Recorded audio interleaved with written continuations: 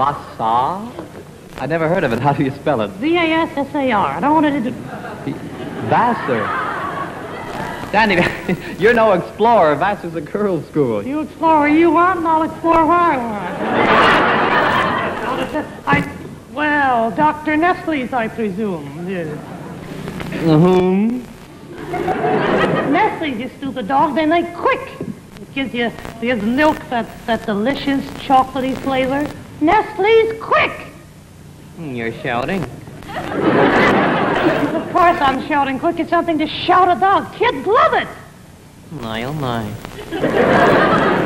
Make some for 'em, will you, Nelson? All right, I will, Danny, because nothing could be easier. Really? All you do is take fresh whole milk, I hear you talking. add two spoonfuls of Quik, just like this, Uh-huh.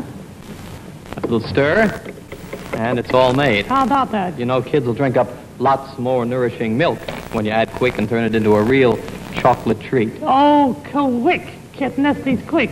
It makes milk taste like a million. Mm, he means it's good. Yes, he does. No. N-E-S-T-L-E-S, Nestle's makes the very best. Sure, and it's chocolate.